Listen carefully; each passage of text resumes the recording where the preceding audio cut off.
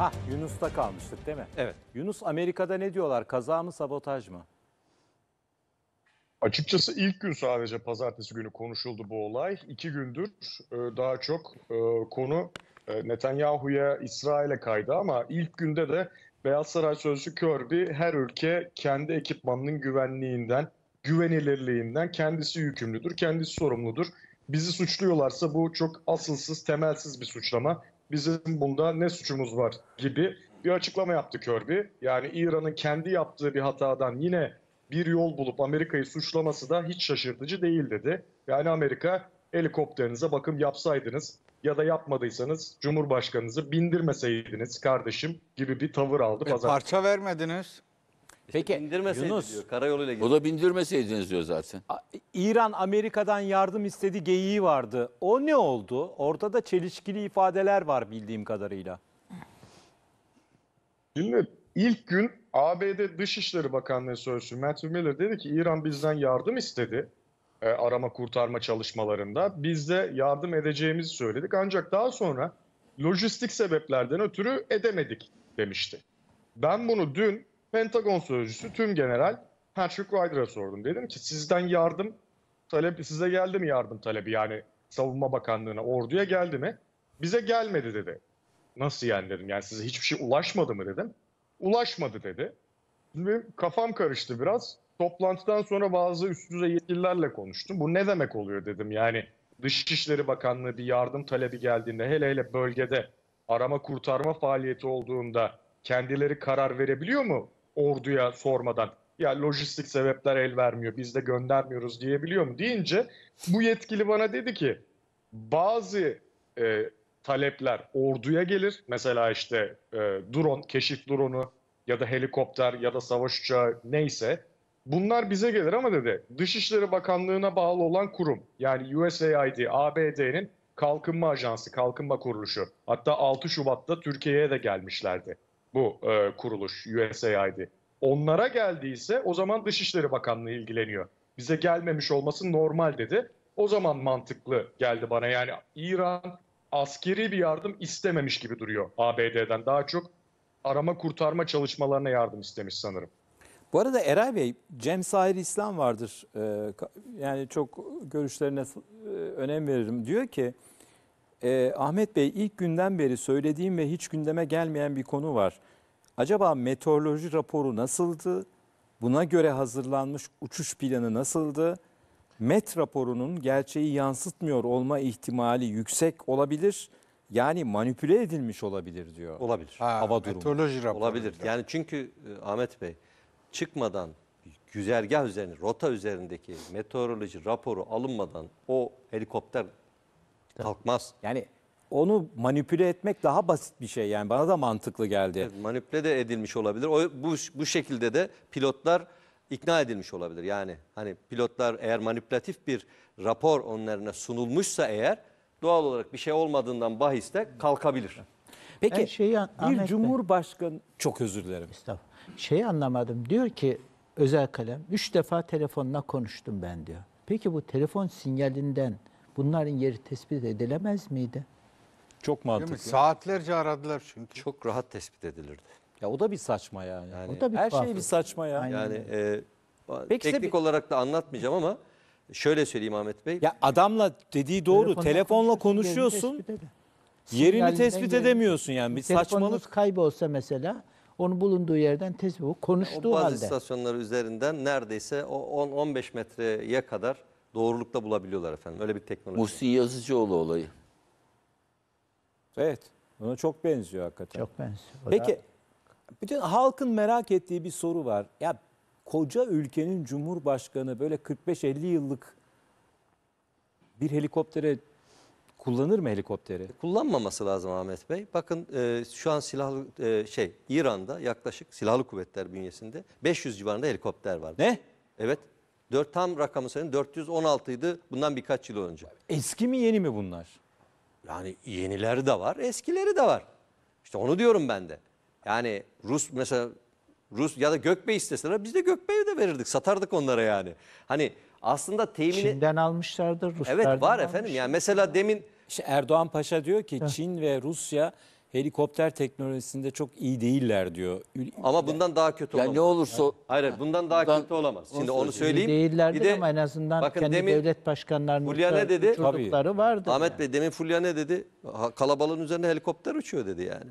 Ya 416 tane helikopterleri vardı. Bundan birkaç sene önceki rakam. Ben en çok Yunus'un anlattığı bir hikayeden etkilendim. Yarın da yazdım onu. Evet Ahmet Bey. Ya Yunus şimdi pazartesi akşamı Biden'ın helikopterini gösterdi. evet evet evet yani. Abi şimdi Biden'ın helikopteri böyle baktığın zaman canavar gibi böyle hani Alman malı canavar ben güven itimat telkin ediyor yani. Ama ona rağmen bir yağmur damlası düşse De, işte tam onu söyleyeceğim. Yunus dedi ki kaldırmıyorlar helikopteri. ya dedi burada dedi arazi de engebeli falan da değil dedi. Yani dümdüz arazi. Doğru. Herhangi bir en olumsuz hava koşulunda bile aman Sayın Biden binemezsiniz helikopter yasak Karayoluyla.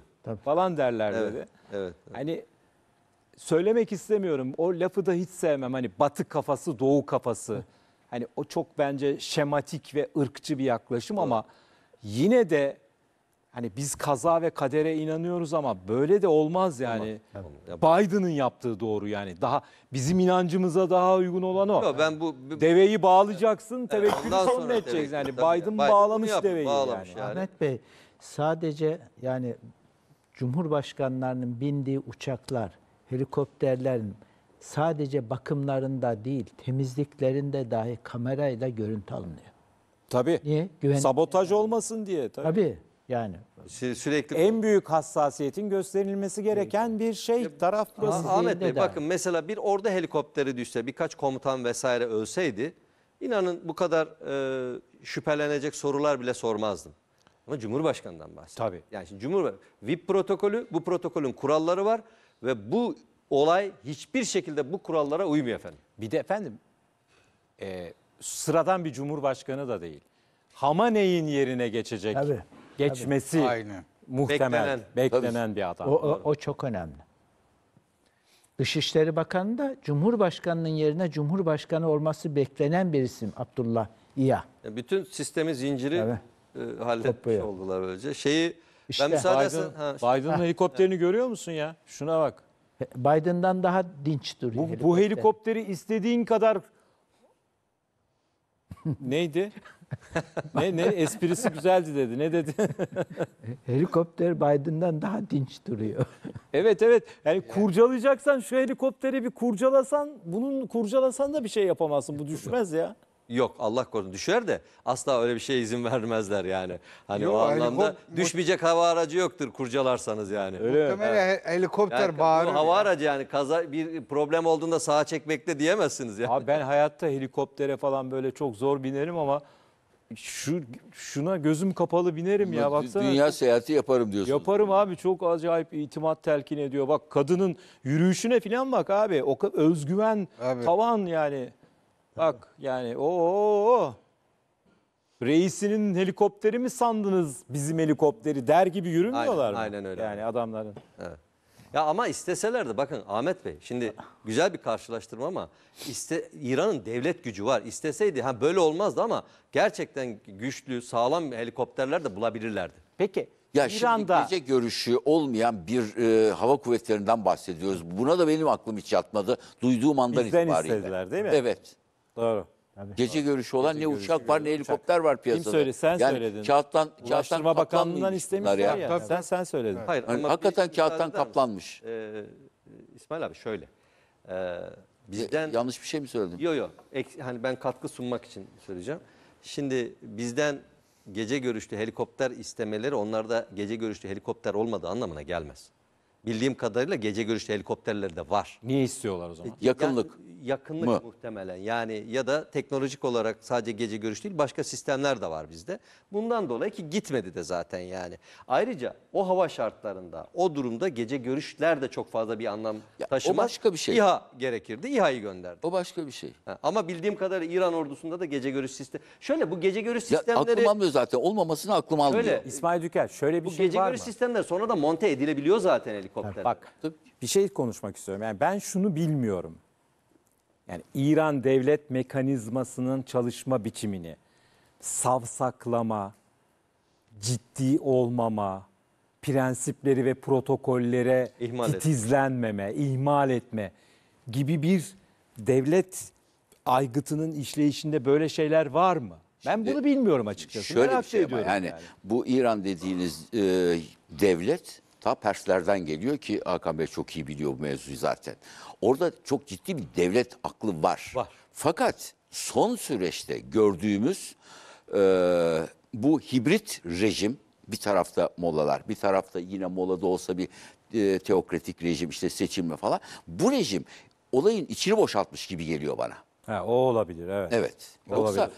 İ- İran Aynen. Olabilir. başka bir kültür var yani o Çünkü İran. Bunun içi yani boşaltılmış. Sabah yani deminden beri konuştuğumuz şimdi Eray Bey'in anlattıklarından benim çıkarttığım böyle bir savsaklama, ihmal, ciddiye almama hikayeleri gibi geldi bana. Bütün onların topluyorsun, topluyorsun o çıkıyor. Doğru, yani doğru ya, en bu- son olay yeri İnceleme. incelemesi.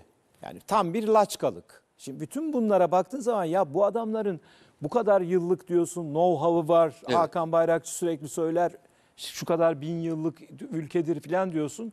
Yakışmayacak şeyler. yani. Ha, o, o çark bozulmuş. O çark bu. Bildiğimiz İran e, ya da Pers'ten gelen o devlet kültürünün artık olduğunu söylemek çok zor. Ama o c- olabilir mi? anlattığımız hususları yani bu şey içerisinde savsaklama sınırları zorluyor Ahmet Bey yani. Soruyor. Yani gerçekten zorluyor. Hayır, hani yani- tutup da bu ELT diyor cihazının ama, olmaması, yönelik kara kutunun zorluyor diyor. olmaması, Tamam ben sabotaj da olsa Sabotaja yönelik zorluyor bak diyorsun. Yani sabotaj olma yönünde. sabotaj işte olmasa oluyor. bile bu kadar sadece safsaklamayla iman- o helikopter havada kalamazmış zaten ya. kalamazmış evet. Ya ülkede tek bir ELT cihazı olsa o da herhalde Cumhurbaşkanı'nın helikopterinde olur yani. Sevgili e, abi bak şöyle. Bir de abi sen Bunlar hep daha sonradan alınıp Bak. Hakan abi sen biz hep de öyle Perslerden bahsediyorsun. Ta Per Pers, Perslerde helikopter mi vardı abi? yani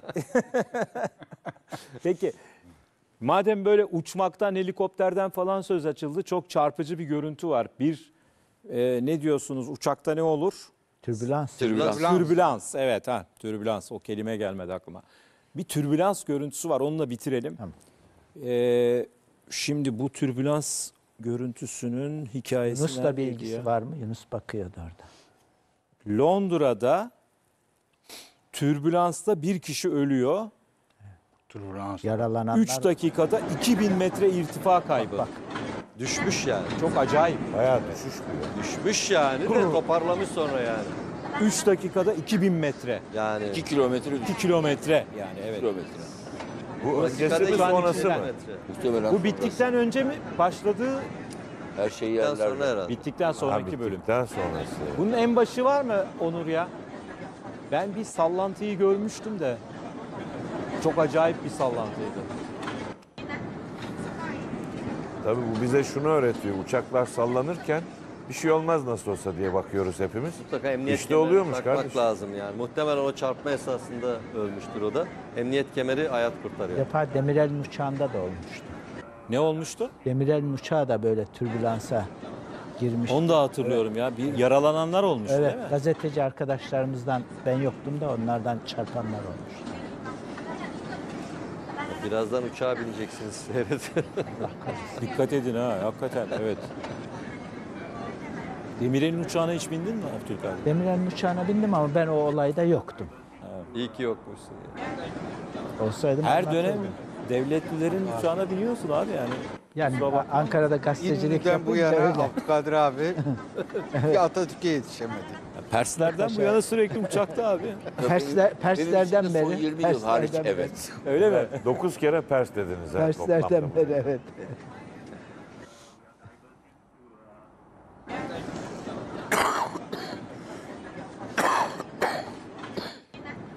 İlk olarak Özal'ın da var uçağına herhalde binmiş. görüntüsü.